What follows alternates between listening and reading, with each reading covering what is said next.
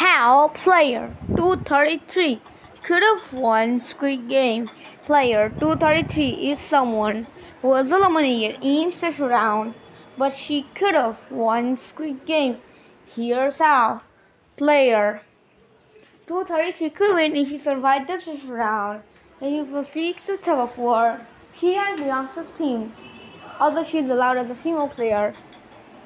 And Beyonce's team beats the Team 7. In the marbles, she chooses her partner player 397. Then she meets her partner player 397 in the last game. Player 230 picks jacket number 7. So everyone dies. Only Glassmaker, player 233 and Sang-woo left. Well, they all survived. Sang-woo gets less than dies and all player to the Richard now to beat Glad the Glassmaker at Squid Game. She does and wins, and that's how player 233 could have won Squid Game.